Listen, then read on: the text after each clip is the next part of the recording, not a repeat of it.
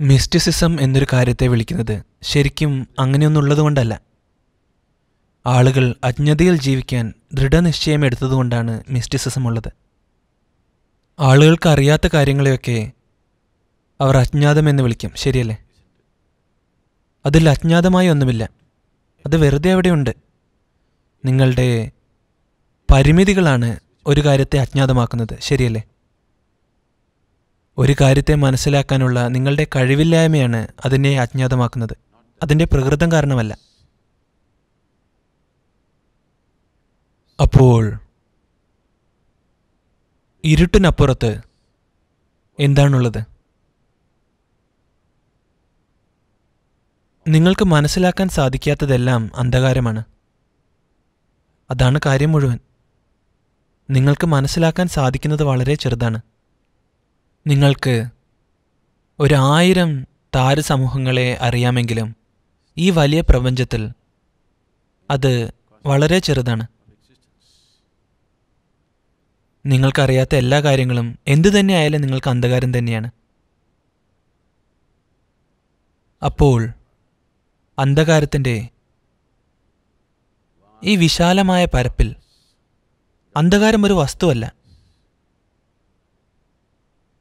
അന്ധകാരം ഒരു കാര്യമല്ല. വെളിച്ചത്തിന്റെ അഭാവം അന്ധകാരമാണ്. അവബോധത്തിന്റെ അഭാവം അന്ധകാരമാണ്. അറിവിന്റെ അഭാവം അന്ധകാരമാണ്.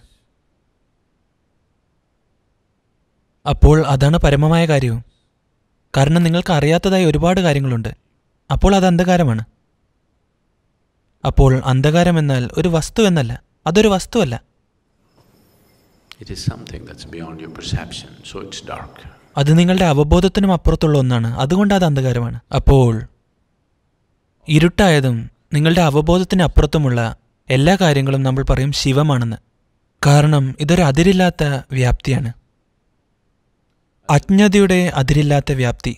കാരണം അറിവിന്റെ അതിരില്ലാത്ത വ്യാപ്തി എന്നൊരു കാര്യമില്ല. അറിവ് എപ്പോഴും പരിമിതമാണ്. അത് വളരെ വലുതാകാം. എന്നാലും വളരെ പരിമിതമാണ്. അജ്ഞതയ്ക്ക് മാത്രമേ പരിധിയില്ലാതാകുവാൻ സാധിക്കുകയുള്ളൂ.